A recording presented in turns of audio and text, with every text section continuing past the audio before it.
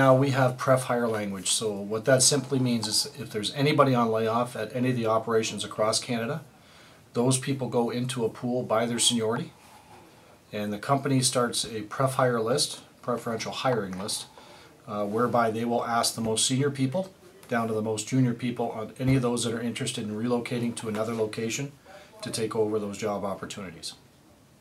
So, uh, in essence, right now we've got people on layoff in Windsor. St. Thomas still has people on layoff.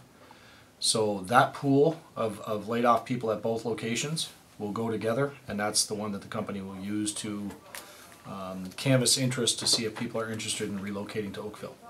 The jobs being opened up are in Oakville um, are increased to new jobs. The opportunities here in Windsor, right now, um, barring any new product, will be based on people taking retirement incentives. So there's going to be a a canvass of retirement eligible people at all locations across Canada. Um, and that's going to happen fairly soon to find out what interest we have in people that want to uh, retire. And then whatever openings we create out of that will obviously lead to some recalls of people.